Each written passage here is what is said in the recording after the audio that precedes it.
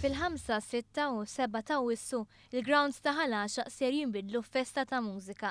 Il-ħmistax-il edizzjoni tal-Għaxaq Music Festival ser jara varjetà sħiħa ta' gruppi mużikali.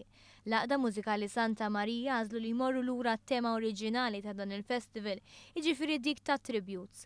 B'hekk din l-attività ser tibda b'tribute band ta' Robbie Williams.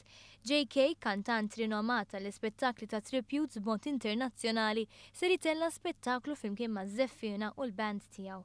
L-għada l-ambjent tal-festival jinbidel kompletament b'spettaklu imtella' mill-grupp Tribali. Nistidinhom biex jieħdu okkażjoni, huwa s-sajf, żmien li l-bniedem jiddeferti, Ħa ndoqqu matul il-ġimgħa biex jista' jkun ma naħbtux ma' festi u ma' events oħrajn. U ħa tkun għal kawża partikolari wkoll. Jiġifieri bniedem jista' jiġi hemm, jesperjenza l-mużika tat-tribali, niggarantulu li ħa joħroġ minn hemm sodisfatt peress li s-setup huwa setup professjonali ħafna.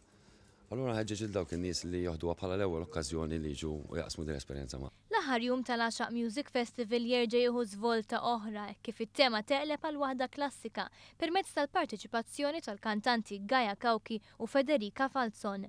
Din hija l-ewwel darba li dan il-festival inkluda kantanti tfal.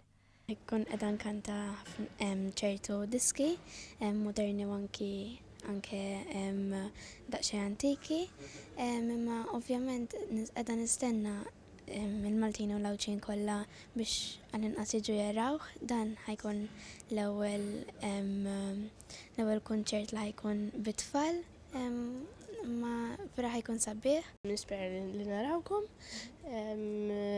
iżjed kemm ikun hemm iżjed aħjar, nispera li jekk tiġu jogħġobkom.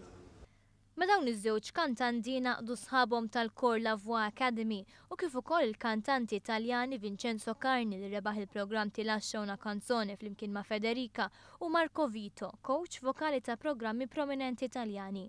Id-dħul għal dawn it-tlett attivitajiet huwa b'xejn, madanakollu dawk kollha li jattendu jistgħu jagħtu donazzjoni. Id-donazzjonijiet li ser jinġabru tul il-festival ser jingħataw lill-Community Chest Fund.